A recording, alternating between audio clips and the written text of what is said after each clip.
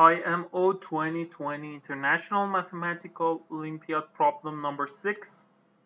The problem is the following. Prove that there exists a positive constant c such that the following statement is true. Consider an integer n greater than 1 and a set s of n points in the plane such that the distance between any two different points in s is at least 1. It follows that there is a line L separating S such that the distance from any point of S to L is at least Cn to the power of minus 1 over 3. A line L separates a set of points S if some segment joining two points in S crosses L. Note, weaker results with Cn to the power of minus 1 over 3 replaced by Cn the minus alpha may be awarded points depending on the value of the constant alpha greater than one third. So let's consider something before going to the key idea. So if uh, we consider this line as uh, the problem said, uh, a line L separates a set of point S. So here we consider this line separate these points S for at least one point uh, on top of that and one point below that. So if we, without loss of generality, we can call the points from left to right, 1, 2, 3, 4, 5 to n like this. And the distance of the feet we draw perpendicular from 1 to, to n to this line and we consider the distance of feet of 1 and 2 d1 2 and 3 d2 to n between n minus 1 and n. We call this distance on this line bn minus 1 so if we consider m big m the maximum of d1 to dn minus 1 if we prove that m over 2 is greater than equal c constant c over n uh, radical 3 then we can prove the problem because then we can draw line perpendicular to this line and all if we consider all points the distance of all points from this line would be greater than equal m over 2 so let's see what we have now. We know that the from the assumption of the problem distance between each two points is at least 1 so if we consider this v and this h, v squared plus h squared equals s squared is greater than equal 1 because their distance is s and it's greater than 1 equal 1 so if we, for example, decrease h, then we would be increased. And now let's consider another thing. If we have t points in this from this point from this place, this is the starting point, finishing point. We have some point here, for example, t points, and also some points, all of them t points, and the length of this line d then we can say if m uh, like the previous one we defined for example d1 d2 to here we had n points so we had dn to dn minus 1 here we have t points so we have to dt minus 1 so we know that m big m is maximum of d1 to dt minus 1 we can say big d the length the whole line whole segment from here to here this line segment is less than or equal t minus 1 because look d here we can say equals d1 to d t minus 1 because we have t points. Each of them is less than m because m by the definition of big M is the maximum of them. So we have t minus 1 m's. So d is less than or equal to t minus 1 big M. And we call this one 3 stars and if you divide both sides by m and then take minus 1 to the left hand side then we can say 1 plus d over m is less than or equal to we call this one 1 equality number 1 uh, inequality number 1 and let's check another things. If here we consider for example d1 d2 to d1 d2 to dt and if small m equals minimum of d1 to dt minus 1 then we can say d equals d1 to dt minus 1 so all of them are greater than equal small m. So we have t minus 1 small m. M's and so d the length of this is greater than equal t minus 1 times small m we are considering all things about length about small m big m now let's consider another things suppose that we bound the points by two vertical lines and two horizontal lines. All points are here.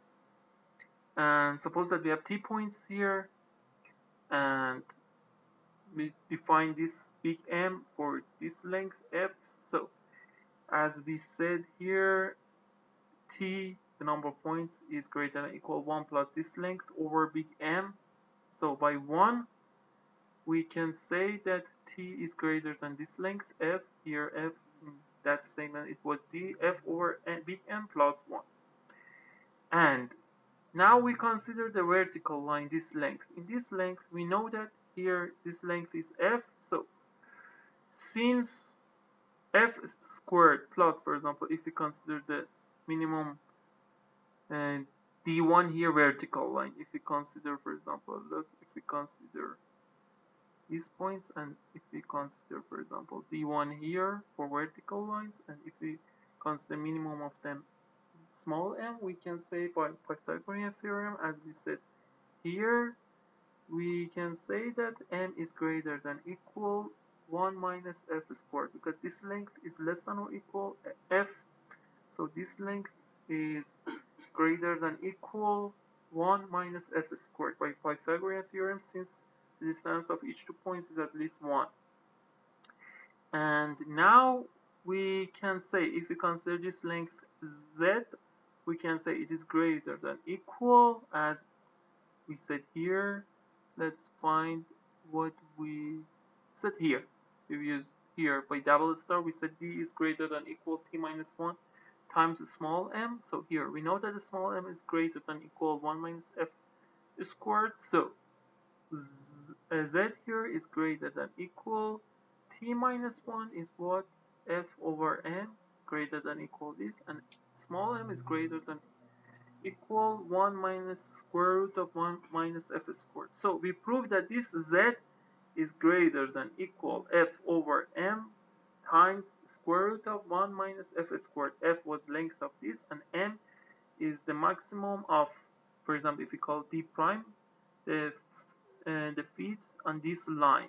If we consider all of them, m is the biggest one between the distance of two consecutive each consecutive feet now, we consider maximum distance between all two points if we consider all pairs of points uh, each of them as a distance each two points and p is the maximum one so if we draw a circle like this with radius p and the center of this point and also similarly for this point we draw a circle all points are here because for example if one point is here then their distance is greater than p and we have contradiction since p was the greatest one.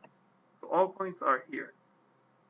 Now, if I consider f, we know that this distance, uh, well, the assumption of the problem is greater than equal 1. So if I consider f less than or equal 1 half constant, so it is on the left. If I consider this line, I can say f is on the light, on the left side of this line radical axis of these two circles so we call this one f we call it the whole line AB z so this is z half z half because this is circle this is center and center. We connect to center and we draw the perpendicular from f to this line. So here is z half and z half. Since o, OA and OB are equal we can say these two the triangles are congruent. So AH equals BH we consider them Z half. Now AB is Z and as we proved here we proved that if we have F and we have M here we can say Z is greater than equal F over big M times 1 square root of 1 minus F squared we use that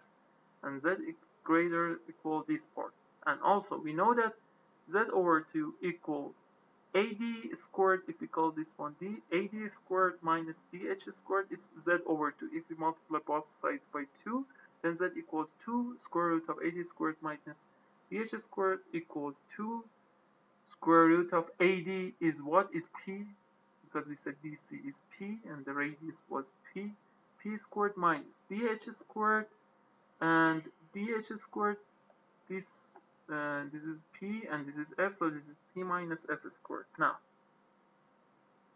then we can say okay Z is greater than equal this and Z equal this. So if we write them in one line z equals this from the previous page and z is greater than equal this one and also by the first things that we've reached p this distance is because we have n points here is less than or equal n minus 1 times big M.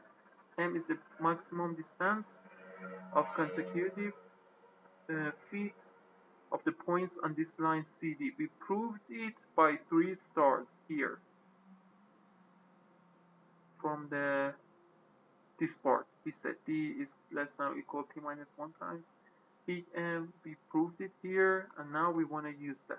So we know that p is less than or equal n minus 1 times m is less than n times big M. So we want to use that and we say okay z is greater than equal this like here z equals this. Z equals this one and we written again here. So we write it here 2 times square root of this term is less than.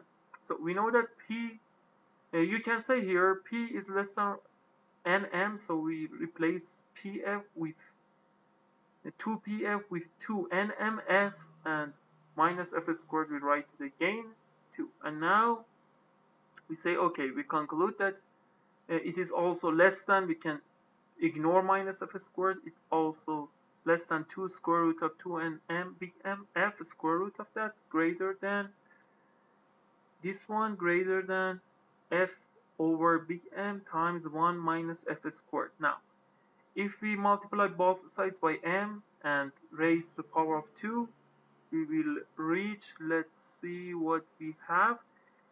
4, no, before, before multiply both sides by m, we raise both sides to the power of 2 it will be 4 times 2 8 n big m f greater than f squared over big M squared times 1 minus f squared. And then if we multiply both sides by m squared it will be and then divide both sides by 8 n f then m cubed is greater than f uh, we if we divide by f it would be f because it is f squared over f would be f times 1 minus f squared 8n here. Now we can say so m is greater than uh, f times 1 minus f squared over 8 radical 3 and if I uh, times 1 over n radical 3 if I call this one 2c because f, if I consider f any constant between 1 and 1 half, then we can consider it 2c. So m over 2 is greater than c over n radical 3.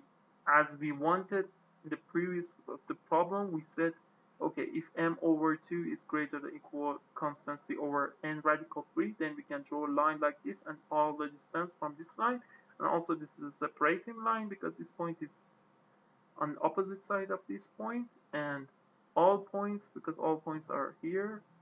And the distance of all points from this red line is greater than equal c over n radical 3 and we proved this problem